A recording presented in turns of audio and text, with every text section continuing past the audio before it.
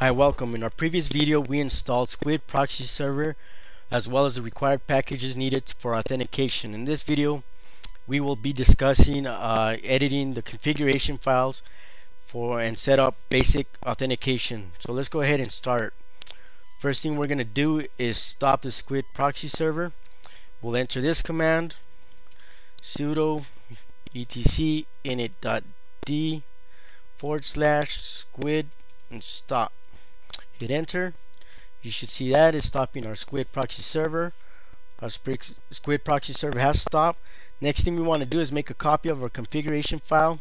It is safe practice that we do this just in case um, don't things don't um, fan out as the way we want them to. It's good practice to always make your um, backup of your configuration files in Linux. Let's go ahead and do that. Let's enter this command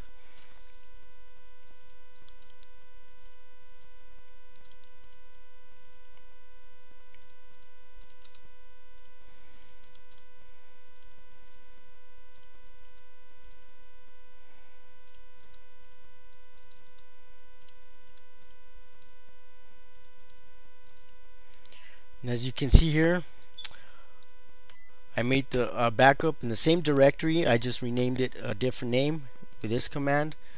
So you can see here it's on the same directory etc squid squid.conf and I copied it to etc squid uh, I just renamed the file.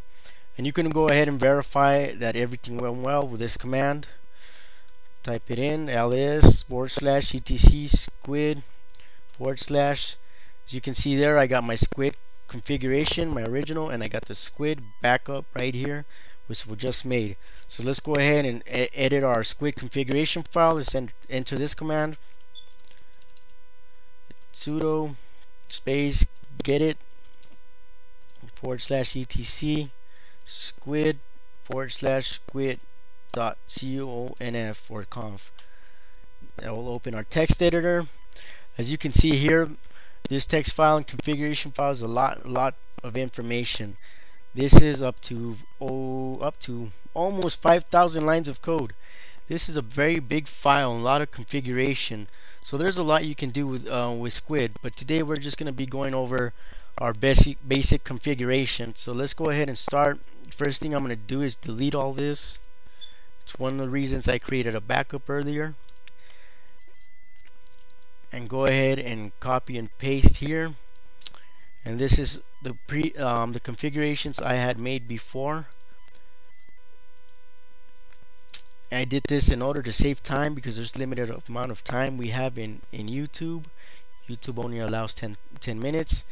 And let's go over this uh, configuration files. Let me explain what's going on with this configuration.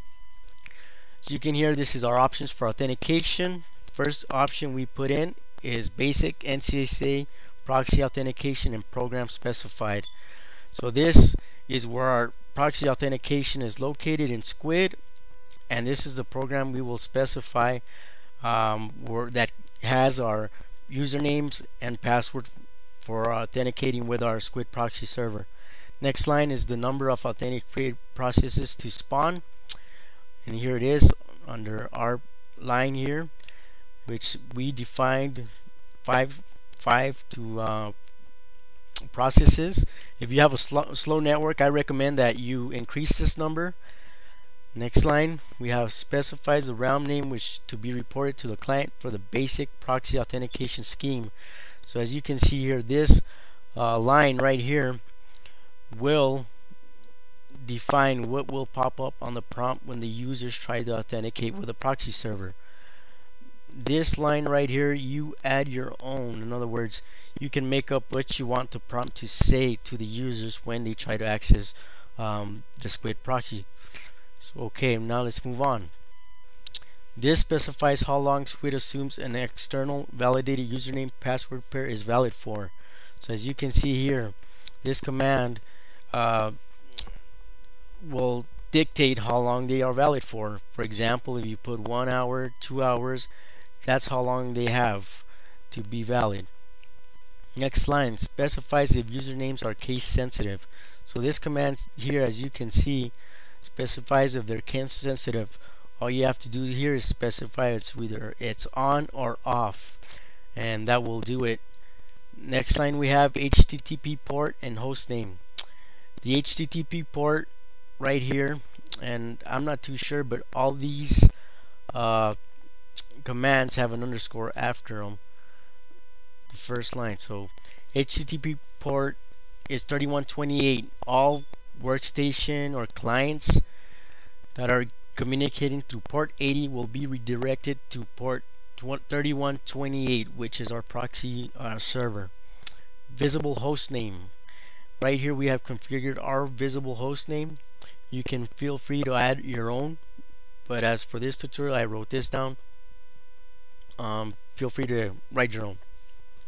Access control list requires users to authenticate for access this is a command that we are using uh, that will require our users to authenticate. I have put this in caps because um, I'm forcing them to do it to authenticate. This one will also enforce that all clients on the network will require to authenticate and this is defined by ACL space all space SRC space all. Next line squid proxy server IP net mask right here we have our ACL define our local host which is our squid proxy server. And it's defined by this uh, IP address in our host file. You can configure this to be anything you want. If it's a remote machine that you're setting up Squid Proxy Server, you can set up that IP as you wish. Um, you're choosing. Same with a net mask.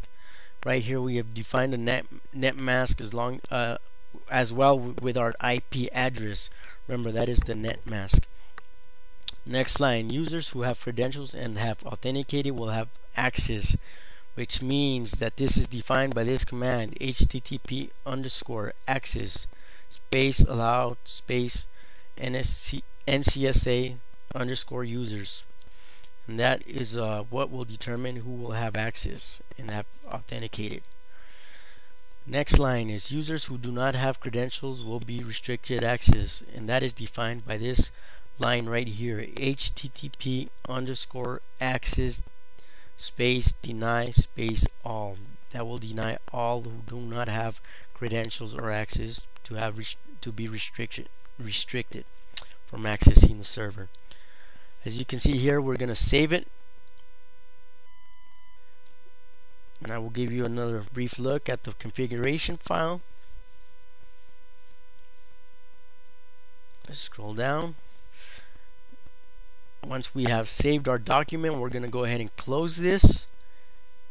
And we're going to create our password file to have NCSA uh, authentication. So let's go ahead and do that. Sudo htpass wd space forward slash etc squid passwd and we're going to define our first user as Bobby. Hit enter. Oh oops. There you go. I'm sorry. I forgot one little syntax there there we go. Ht password minus c. New password.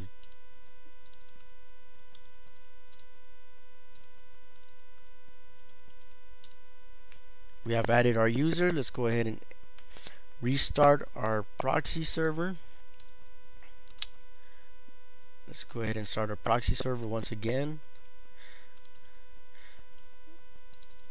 With this command init.d squid start. Okay it has started. Let's go to our browser now. We're going to configure our browser to point towards our proxy server. So on Firefox and Linux we will go to edit preferences advanced tab network tab and settings. We'll go to manual proxy configuration here we have our IP address and our port 3128 which is our proxy. We'll hit OK. We'll close it. We will refresh and now we get this prompt that is asking us to authenticate. So it says authentication required. The proxy 1.92.168.1.9 on port 3128 is requesting a username and password the site says login username and password to access portal. Now we don't have credentials. We will get this error message and right here it will tell us exactly why. It says sorry you are not currently allowed to request Google from this cache until you have authenticated yourself. So anybody who does not have authentication will not be allowed access. Here is defining our actual host name you can see it just as we had stated in our configuration file slayer1.linuxstudies.com now let's go ahead and log in with our username and password.